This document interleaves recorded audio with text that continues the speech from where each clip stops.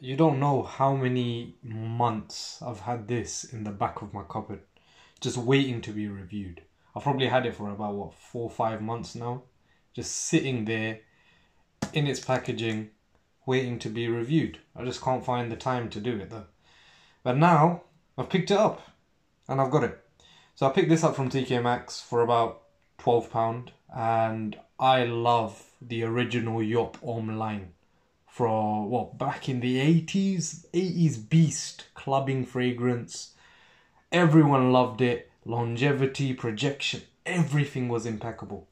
But for this now that they've pulled out a little flanker they're pulling out numerous flankers and i've already got a couple of them as well. But um i haven't smelt wild. And for some weird reason i don't know why from the packaging i get a bit of a uh, halloween type Halloween type vibe. I don't know what this is supposed to be. Is it supposed to be sweet? Like, you know how you have like candy and like sweets and stuff in Halloween? Is it supposed to be overly sweet? It looks a bit dark as well. But I don't know what I'm expecting here, really. 2012 release. Let's get into it and see what this holds.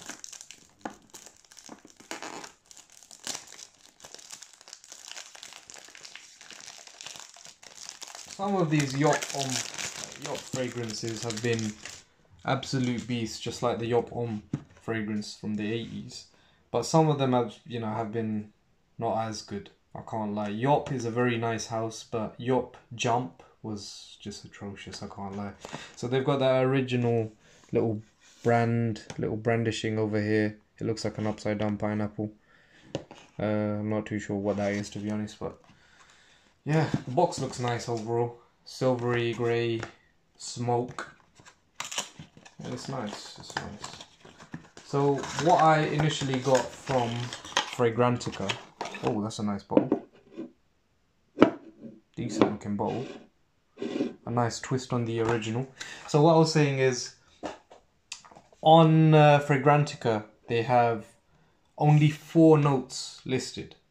That is white tobacco, rum. Uh, what else was there? Oh, pink pepper and like some woodsy stuff as well. Um, pink pepper, give it that playful vibe, I presume. Let's let's have a little smell. Uh, yeah, peanuts, peanuts on the uh, the lid. Not much there. It's very very weak. Very, I say weak. Very light. I meant, I meant to say. That's a, a very elongated neck. Let's give this a spray and stop judging it beforehand. Right. Right. Whoa. I guess Halloween's come early. it's very, very sweet. Very, very overly sweet. Almost smells like a mojito, like a strawberry mojito. That's what I get initially. Um, I know it's starting to get a little bit more darker. I haven't smelled the tobacco yet, the white tobacco or the woodsy. Do you know what? I get the rum. I get the rum. It's slowly, slowly coming in with the sweetness because that, that rum gives it that earthiness. It's not like if you guys have smelled Bentley for Men Intense. It's nothing like that sort of rum. That rum is very pungent. But for this, it's slowly creeping in and it has that earthiness almost. And I think it's paired very nicely with the sweetness.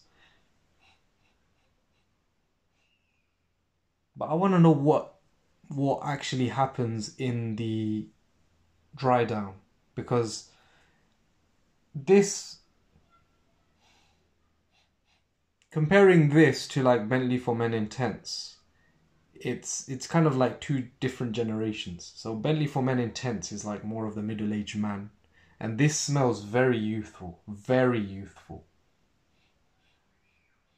It's becoming more gourmandy.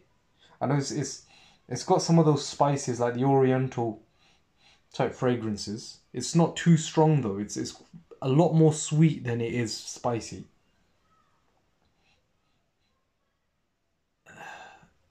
I don't know what I think initially, to be honest. Like I, I like more of the uh, older style perfumes. I know this um, is a flanker of the original Homme from like 89, 1989. It's given is given more of a sweetness to the actual DNA itself. And I love the Homme, the Joop Homme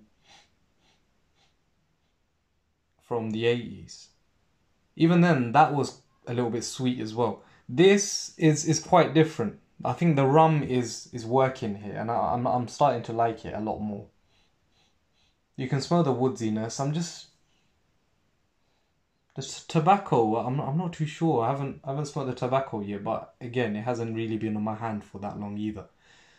But I am I am starting to like it, even though it is very youthful. I presume this is more of like a, a, a clubbing type fragrance. is very very sweet. The projection and longevity wise, I'm not too sure about longevity. I'll give it. I'll probably let you guys know in another video, but projection wise, I don't think it would overly project. I don't think it'll be be like again the Bentley for Men Intense. It's, it won't be choking people out with that the the rum note or anything like that. The sweetness kind of slowly simmers. Slowly, I think it depends on how many times you're spraying it as well. But for me, I've sprayed it maybe two, three times on the same spot. It's slowly simmering I think people will generally get a, a little whiff of it, but it's not going to choke anyone out. Oh, I'm getting some coconutty vibes as well. Maybe that's because of the rum and like the sweetness that's coming together. But as I said before, it's like a mojito type um, fragrance and maybe pina colada. I don't know. but it's it's pretty nice. It's it's it's working a lot better on the dry down as it's drying down. But yeah, it's it's uh, it's not it's not that bad. It's not that bad. I can't lie. I, I probably would prefer the original Homme to this because it, even though it was sweet, it's still a lot more mature smelling than this one, and it probably lasts longer as well. That's my only concern. But yeah, it is masculine. Maybe women can pull it off because of the sweetness. It is very sweet. I, I wouldn't recommend wearing this to work. as as uh, as amazing as it may seem, I don't think you probably should be wearing this to work. It's very sweet. It's more likely a clubbing fragrance, but it is nice. It is nice. As it's becoming more mature, it smells a lot more like body cream and stuff like that. Any product from like the Body Shop or yeah, it's it's good. It's the the coconutty vibe is getting a bit more intensified in this, and I and I like it. I like it. It's not really my cup of tea, for say, but I like it. Um, yeah, so masculine, but women can wear it. Um, other than that, yeah, overall, I, I would definitely wear it. I can't lie, I would definitely wear it, but I I prefer the really dark perfumes, as you guys may already know. So yeah, I think that's it. I'm not disappointed, but I'm not overly. Uh, I'm not jumping up and down about it. It's nice. It's nice. Guys, you already know the drill. Subscribe, like, share, comment. And pass these videos over to your mom, your dad, your uncle, your auntie, your cat's dog's best friend, everyone. Just share these videos. And people that really love sweet perfumes, go for this. Definitely. It only cost me about £12 anyway. So you can't really go wrong. Alright guys. Until next time.